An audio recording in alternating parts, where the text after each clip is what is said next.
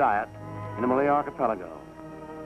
But when I got my orangutan back to camp, the mainland, he wasn't interested in durian. He'd rather have eaten the right hand of...